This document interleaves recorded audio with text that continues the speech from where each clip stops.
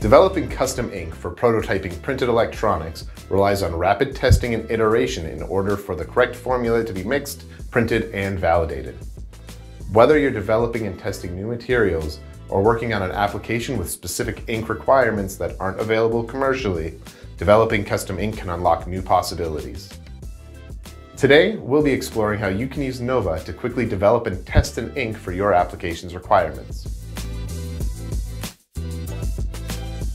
For this project, we chose to develop a carbon ink and tested it by printing a functional thick film potentiometer. The solvent we selected was butyl diglycol acetate, a common solvent for inks and toners, and our polymer was polyvinyl pyrrolidone. We chose these materials after researching which solvents and polymers would work best with a carbon filler. Once we settled on which materials we were going to use, the next thing we needed to determine was the ratio of solvent, polymer, and carbon for our ink. The process involved preparing a formulation, printing a test pattern on Nova, tweaking the formula, and testing again, until we had a carbon ink with the desired performance and characteristics.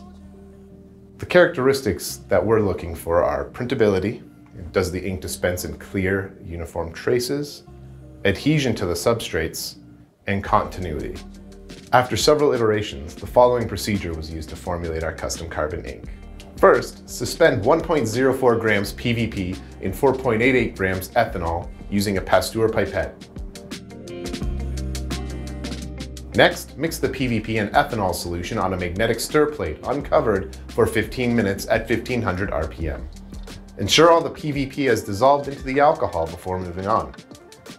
Add 0.48 grams of carbon black to this solution, and then add butyl diglycol acetate dropwise until the solution appears homogeneous.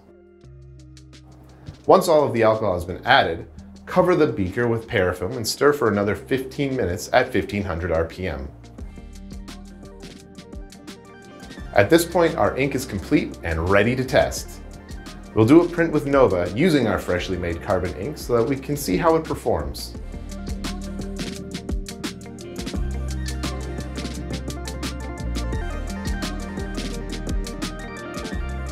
With Nova's software, we can set specific material settings for dispensing in order to further optimize the material's performance. As you can see, the ink meets all of the output requirements we mentioned earlier. It prints in clear, uniform traces and adheres well to the substrate. We'll also check its continuity once the print is complete and it has been cured. After the carbon ink was cured, we were able to measure resistance across the entire print showing that our ink would be usable as a printed resistor in our potentiometer. After testing the ink, it's time to put it into action. Today we'll be using it as part of a printed potentiometer that will control the brightness of these LEDs.